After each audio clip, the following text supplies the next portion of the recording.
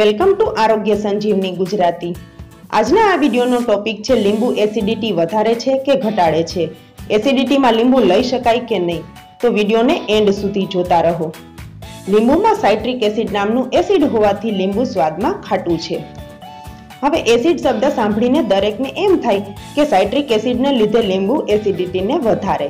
પણ હકીકતમાં એવું નથી.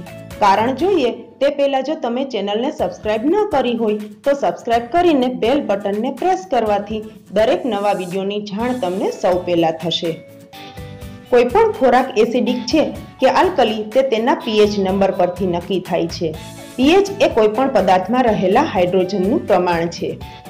PH number zero to fourteen સુધી હોય છે. શુદ્ધ પાણી કે જે નહીં એસિડ, નહીં આલ્કલી, એટલે કે ન્યુટ્રલ છે. તેનો પીએચ નંબર સેવન છે. પીએચ જેમ સેવનથી ઓછી, તેમ એસિડિક અને સેવનથી જેમ પીએચ વધે, તેમ આલ્કલી હવે લીંબુનો pH number two point zero છે. માટે લીંબુ એસિડિક ગણાય.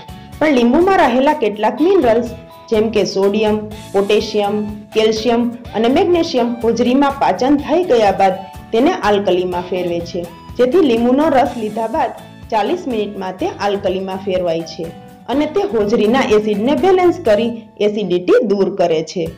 માટે એસિડિટીની તકલીફમાં જમવાના ચાલીસ મિનિટ પહેલા અડધા લીંબુના રસમાં તેટલું જ પાણી ઉમેરી લેવાથી તે હોજરીના વધારાના એસિડને બેલેન્સ કરે છે.